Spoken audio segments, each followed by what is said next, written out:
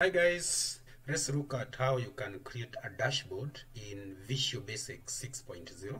So what I mean by dashboard is something like this. So if we open this, this is a complete system. So I just want to show you a dashboard. So like now I double click this one, then we run it. So if you run such a system, if you run such a system, uh, let's see. Then we go to password. So this is the dashboard we are talking about. That is the you can create forms and reports or even other stuff. So uh, this is whatever we call a dashboard. So how do you create a dashboard in visual basic? So guys what you need to do is to go to project. Yeah first of all i stop it. So you go to project. Then once you go to project you can do add form. So you choose form one then you click on open. Then from there i can maximize this one. I can also maximize this one.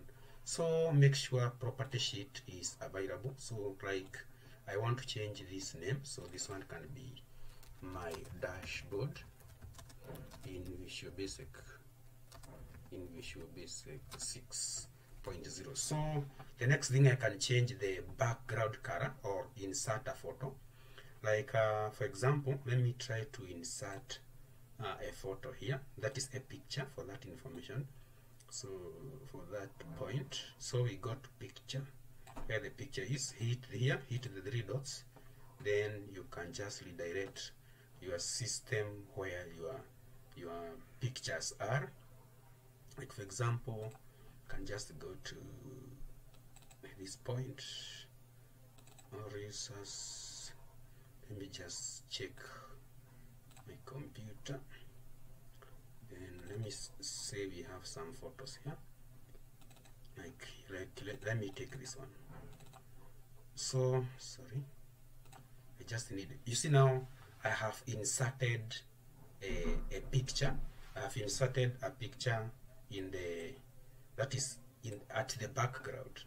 Alternatively somebody else might uh, think of uh, inserting color back color that is back color uh, uh, behind behind the the system. So uh, you can just go to this point fill color uh, hit that point go to let me just extend this a bit.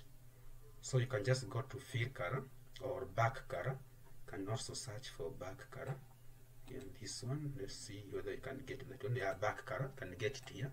So you can just go to the palette and insert back color so the next thing after doing that one is to make sure that your property sheet is active and your toolbox is active. So I can just catch um, or click on this button here but uh, some people might opt to use the, the, that is the, the the frame.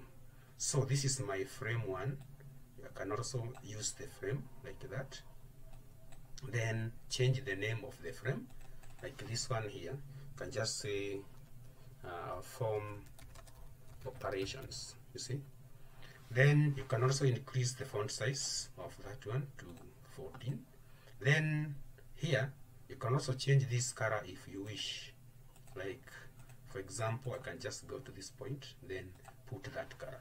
Then I need to put some buttons here. So just click on the command button draw it and uh, change the name like this one. I want it to have sales uh, sales module. Then after doing that uh, I need just need to go and uh, check which form uh, has the sales module then you can just take like for example if you just go to project then I go to this one I can be in a position to check these ones. So I, I can see I have form one two three. So what I need to do is just to double click here and then just type uh, form one dot show. Like that. So that one that button will open uh, will open form one then I can proceed to take the next button like this. So I just uh, go to property sheet here change the name. Let's say uh, the, accounting module. Like that. Again I double click. I just type let's say form 2 dot show. Like that. Then cross this one.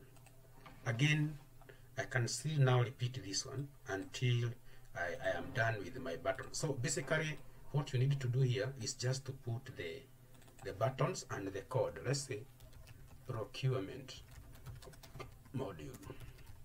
That's the next one. So again I can just double click then type uh, the name of the form form 3 dot show dot show so that is uh, how simple it is. So the next thing is you can just hold shift shift then go to font and do your stuff there. Like I need them borrowed. You can change this one to something different. Click OK. So now this is what I have. Let's say this is this was the this was the forms module. So I can also go ahead and draw another. I can just go ahead and draw another frame. This time round this is the reports. Reports and summaries that is that part. Again go to font. Here you can just make it 12 bold like that. Then then the next thing is to change the color like I want to change the back color. So palette change that color to something like that. Then for the report you do the same like I just go to that point. Let's say this is sales report again double click then just go to uh, report one dot show. If you you point at dot and there is nothing then it means there is no such object. So I just needed to check just to confirm the reports I have. So I have data report one. I have data report one. You can see I have data report one.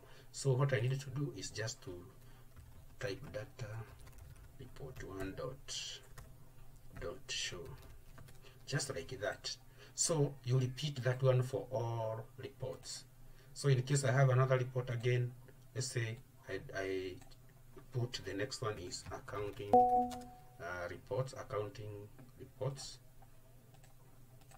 Accounting reports. So I can just make sure they are somehow equal to each other. For the accounting report let's say double click then we have data report 2 dot show. You see when I click that one there is no nothing. So there is no such report. So for this case I just type rem that just to make it comment. So guys after having done that one uh, I can be in a position now to uh, see how far I have gone. So just go to project property sheet then here can just uh, change it to form 4 then run it. So you see this is my dashboard.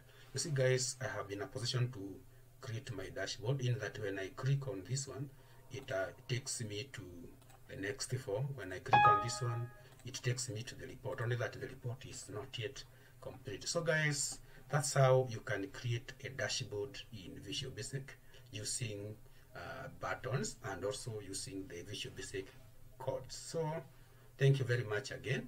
Remember to subscribe remember to share and also